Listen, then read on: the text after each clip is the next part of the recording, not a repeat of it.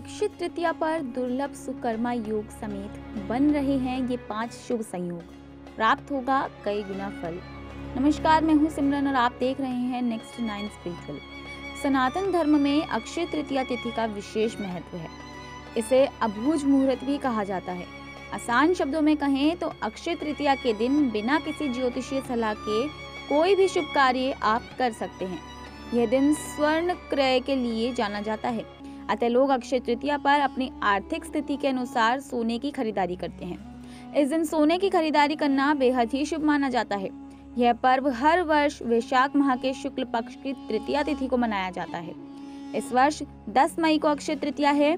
ज्योतिषियों की माने तो अक्षय तृतीया पर मंगलकारी सुकर्मा योग का निर्माण हो रहा है।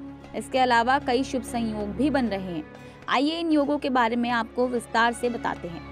देखिए, वैशाख माह के शुक्ल पक्ष की तृतीया तिथि 10 मई को सुबह चार बजकर सत्रह मिनट पर शुरू होगी और 11 मई को देर रात दो बजकर पचास मिनट पर समाप्त होगी।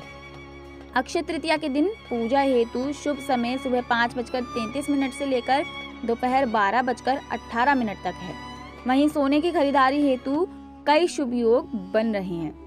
ज्योतिषियों की माने तो अक्षय तृतीया पर मंगलकारी सुकर्मा योग का निर्माण होगा। इस योग का निर्माण दोपहर बारह बजकर आठ मिनट से हो रहा है। वहीं इस योग का समापन 11 मई को सुबह दस बजकर तीन मिनट तक है। सोने की खरीदारी आप सुकर्या योग में कर सकते हैं। वहीं रवि योग दिन भर है। ज्योतिष रवि और सुकर्मा योग को शुभ कार्यों के लिए उत्तम मानते हैं। साथ ही अक्षय तृतीया पर रोहिणी और मृक्षिरा नक्षत्र संयोग भी बन रहा है। जबकि दोपहर तीन बजकर उनतीस मिनट तक तैतिल करण योग भी बन रहा है। इसके बाद गरकरण का निर्माण शुरू होगा। कुल मिलाकर कहें तो अक्षय तृतीया पर स्वर्ण खरीदने समेत शुभ कार्य करने हेतु कई शुभ संयोग बन रहे हैं।